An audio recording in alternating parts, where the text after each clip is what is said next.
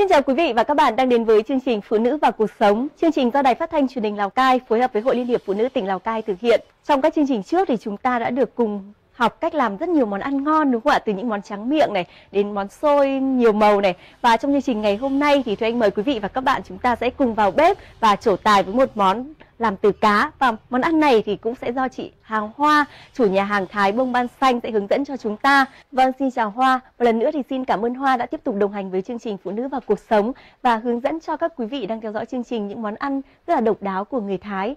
Và không biết là hôm nay thì Hoa sẽ tiếp tục hướng dẫn cho Thùy Anh và các quý vị đang theo dõi chương trình món ăn gì đây? Xin chào à, chị Thùy Anh ạ. Xin chào quý vị và các bạn. Hôm nay thì à, Hà Hoa sẽ tiếp tục giới thiệu với mọi người một món ăn rất đặc trưng trong ẩm thực của dân tộc Thái. Đó là món uh, pa bình tộp. À, có nghĩa là pa bình tộp. Pa bình tộp. Dạ. Có nghĩa là cá nướng gập ạ. Đây là một món ăn mang cái hương vị rất đặc trưng của người Thái và không thể thiếu gia vị là mắc khén và chúng ta sẽ cần chuẩn bị chắc chắn là một nguyên liệu không thể thiếu là cá rồi đúng không Hoa? Và ngoài ra thì sẽ là các loại gia vị. Thì Hoa có thể giới thiệu về các loại gia vị để chúng ta có thể ướp vào con cá này được không? Dạ trước tiên thì là khâu chọn nguyên liệu. Nguyên liệu thì bao gồm có cá chép cá chép sông cá chép suối. À, và các cái gia vị còn lại thì không thể thiếu là cái à, hương vị của mắc khén thì rất đặc trưng. Mắc khén và có gừng tỏi ớt xả à, rau thì là rau húng chó và ớt rồi à, tỏi một số gia vị nữa. Và để tạo nên à, hấp dẫn cho cái món à, cá nướng này thì à, chúng ta phải à, trộn cái lòng cá với à, các gia vị còn lại. Sau đấy mình sẽ cho vào bụng cá gập lại và nướng lên thì sẽ tạo nên một cái hương vị rất là thơm rất đặc trưng của món ăn. Và bây giờ thì chúng ta sẽ bắt đầu làm nhé Hoa nhé. Dạ vâng. Ở đây thì hình như là cá thì đã được Hoa sơ chế rồi đúng không? Dạ. Cái con cá này thì uh, em đã sơ chế trước rồi và để mà làm được cái món cá nướng gập ấy thì uh, chúng ta phải uh, bổ từ sống lưng. Đây là cái con cá mà em đã chuẩn bị sẵn rồi. Chúng ta sẽ bổ dọc từ sống lưng xuống như thế này. Như thế này. Chứ mình đấy không thì... bổ bụng đúng, đúng không? rồi ạ. Không nên bổ bụng ạ. Mình bổ sống lưng vì phần sống lưng nó cứng.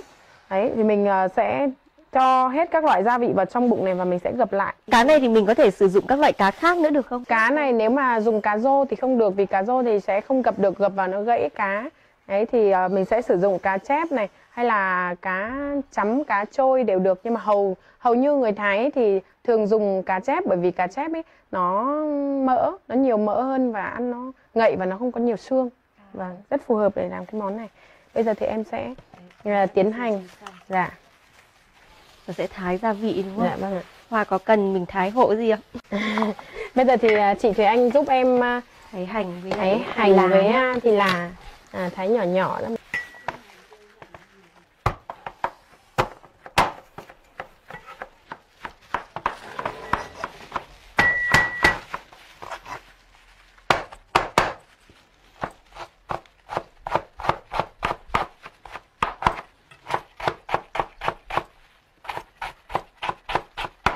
Đường thì mình sẽ dùng hai củ nhỏ. Nhỏ thôi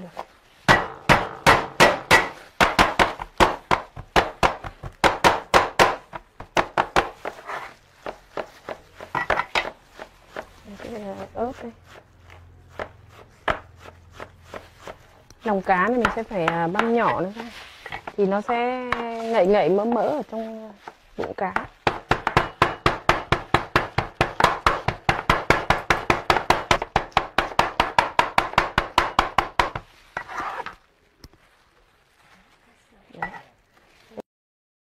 Qua ở đây thì chúng ta đã có các loại lá gia vị và cả lòng của cá đúng không? Dạ. Và đã được băng nhỏ ra đây rồi. Bây giờ thì chúng ta sẽ có cần thêm gia vị gì nữa không? Có ạ. À. Bây giờ mình sẽ thêm cái gia vị mắc khén đặc trưng và một chút uh, tỏi, một chút uh, ớt nữa để cho nó đậm đà hơn.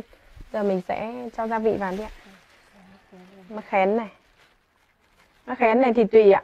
Nếu mà ai ăn được cay ấy thì cho nhiều nhiều một chút thì sẽ rất là thơm tí súp, súp chị sẽ gấp tay tỏi băm nữa. Rồi. bây giờ chị trộn giúp em trộn cái đấy thật đều. và em thì sẽ trà cái một chút cái à, muối hoặc là súp ra ngoài con cá phía bên ngoài. Để cho nó ngấm gia vị cả ngoài cả trong. Bây giờ đây này đã trộn rất là đều rồi đây. Bây giờ thì à, chị cho vào lòng cá giúp em nhé đây mình sẽ cho vào bụng con cá này đúng không?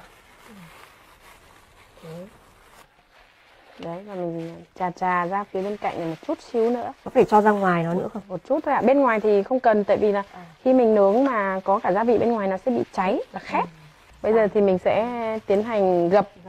Bây giờ để gập được cá thì à, ban đầu mình sẽ phải gập một đoạn ngắn ở phía đuôi như thế này để giữ cho gia vị không bị à, trôi ra ngoài. Sau đấy là mình sẽ ướm làm sao được để một nửa như thế này và à, ấn mạnh xuống để để nó gãy cái xương bên trong ấy. Vâng, bây giờ chị giúp em lấy cái kẹp ấy ạ.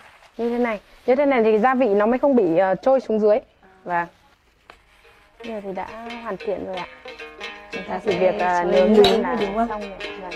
Vâng. Khi mà nướng thì mình có cần quét ít mỡ lên không Ờ, cái này thì không cần ạ. Tại vì bản thân con cá nó đã rất nhiều mỡ ở trong bụng rồi. bây giờ chúng ta sẽ cho nướng nướng này nướng bếp than thì chắc là sẽ Dạ ngon vâng. nhất đúng không Nướng than củi ạ. Và chị em mình sẽ đi nướng nhé.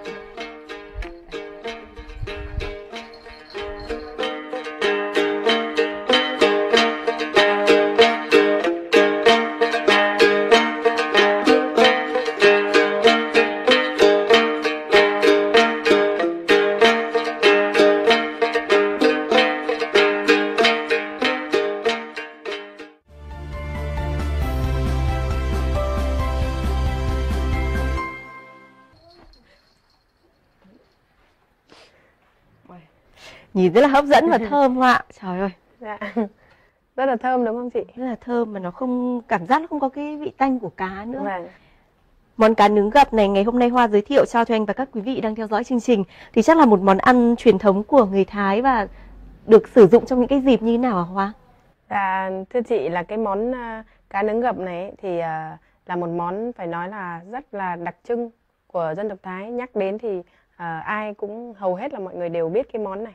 À, và cái à, người Thái thì có cái câu rất là nổi tiếng đó chính là bay kin pa, ma kin khẩu. Có nghĩa là à, món cá này là không thể thiếu trong mâm cơm của người Thái khi mà à, tiếp đón khách quý À, về thăm. Vâng. khi mà có khách quý thì món ăn này sẽ không thể thiếu được trong mâm cơm đúng Dạ, không? Và vâng nó cũng bày tỏ cái tấm thịnh tình của chủ nhà đối Dạ. với khách khi đến nhà phải không nào? Dạ và người Thái thì à, đặc biệt là rất là mến khách.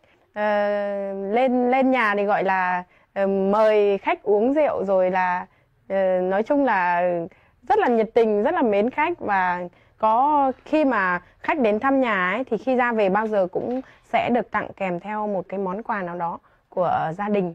Ờ, ví dụ như là mang theo xôi này. Đấy rất hay tặng khách cái cái xôi hay là cá hay là cái gì đó đặc trưng của người Thái.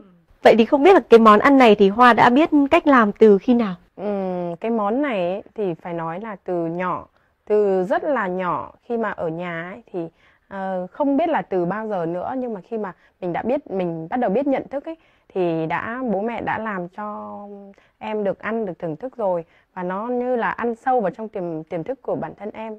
Ờ, vì là cứ mỗi khi mà đi ờ, học về hay là đi chăn trâu về ấy, thì thì à, bố mẹ lại để phần cho nửa cái con cá này thì uh, rất là sung sướng về ăn kèm với xôi thì thơm ngon rồi ui dồi ôi cái cảm giác lúc đấy thật sự là không bây giờ không biết diễn tả kiểu gì nhưng mà uh, ngày xưa thì nó không có điều kiện cho lắm. Thì uh, thật sự là những cái món uh, cá này um, thì uh, khi nào mà có khách quý thì thì mới uh, được ăn.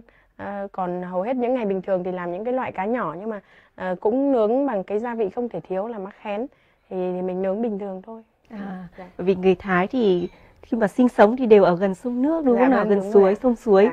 nên là cái những cái món ăn về cá thì rất là phổ biến và đặc biệt ngày hôm nay thì Hoa đã hướng dẫn cho cho anh và các quý vị món cá nướng gập một món ăn Dạ. rất là truyền thống của người Thái và gắn liền với những câu chuyện tuổi thơ của Hoa Dạ, đúng không nào vâng. và chắc chắn là cái món ăn này thì Hoa về sau sẽ dạy cho con gái của mình phải không nào Dạ, em sẽ tiếp tục truyền dạy lại những cái món ăn ờ, cơ bản của người Thái để cho con cháu sau này còn có thể không bị mai một và giữ được cái nét ờ, đặc trưng trong ẩm thực của dân tộc Thái. Dạ. thực sự là bây giờ thì đang rất là háo hức được thưởng thức món ăn này Hoa ạ. Dạ. Bây giờ thì em sẽ à, à, cho chị Thùy Anh thưởng thức một chút này. Em thì à, đặc biệt là cái món bà tỉnh tộp này để em rất thích ăn cái lên cái phía trong bụng của nó, cái phía lòng của nó. Đấy, rất là thơm đúng không chị? Đấy Đấy, mở ra Em thơm nó bay lên. Giờ em sẽ cho chị à, thử một chút. Và sẽ ăn kèm với xôi nhé. Rất là thơm và nói chung là gọi là rất là ngon miệng. Bởi vì khi mà ăn vào một miếng đầu tiên thì lại muốn ăn cái miếng tiếp theo. Em thấy là nó có sự kết hợp của cái dòng cá này với các loại gia vị. Nó trộn vào nhau. Và cái miếng cá thì rất là dai và ngọt thịt. Bởi vì cá này thì là mình thường chọn là cá sông và cá suối nên Dạ, là vâng. nó rất là ngọt nó không bị bở cũng như là không bị tanh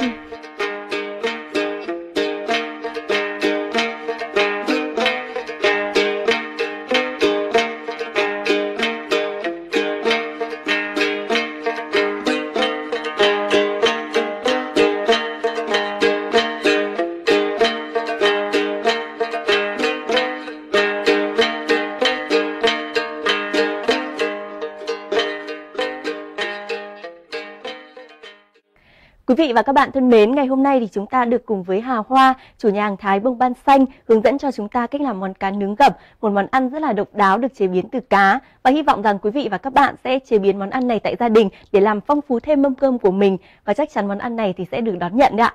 Vâng quý vị và các bạn thân mến, đến đây chương trình Phụ nữ và cuộc sống của Đài Phát thanh Truyền hình Lào Cai đã hết. Cảm ơn quý vị và các bạn đã quan tâm theo dõi chương trình. Xin kính chào tạm biệt và hẹn gặp lại.